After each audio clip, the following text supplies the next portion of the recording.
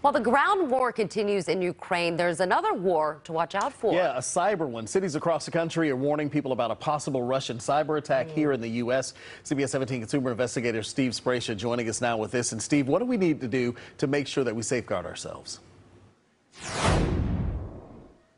A number of steps we can take. The bottom line, Rod, a Russian cyber attack can be crippling to both individuals and companies and virtually shut down our way of life. And I've learned how Russian attackers can use our own computers to stage such an attack or conversely hold everything on our computers for personal ransom. The average person on a scale of 1 to 10, how worried should we be about this right now? Uh, at 11. We all remember the Colonial Pipeline shutdown when Russian hackers crippled our gas supply for days. But security expert Craig Petronella says this time around it could be far worse. I do think that they're going to do blanket attacks, which means that they're going to scan for low hanging fruit.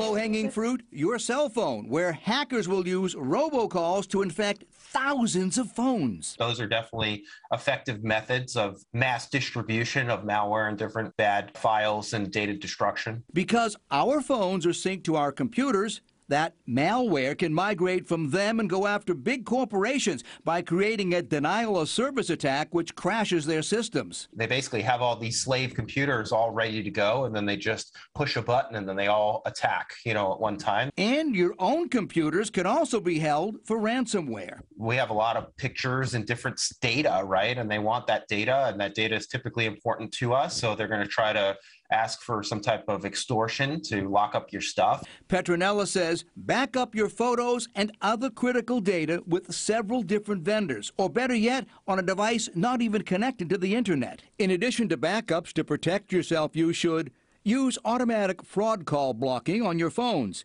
use PIN codes on your accounts, don't click on links in text messages, and use complex, hard to guess passwords.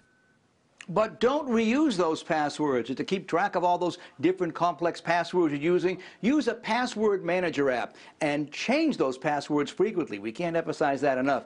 These days, we all have to become our own cybersecurity cops to protect ourselves. Working for you, I'm consumer investigator Steve Sbraccia. It is hard to keep up with all those passwords, though. Really I'm not going to lie. Yeah. It's tough, but but a necessary thing to do, Steve. So thank you. Travelers at RDU will soon have another airline that they can choose from. Avelo Airlines announced that it's going to offer one-way fares between RDU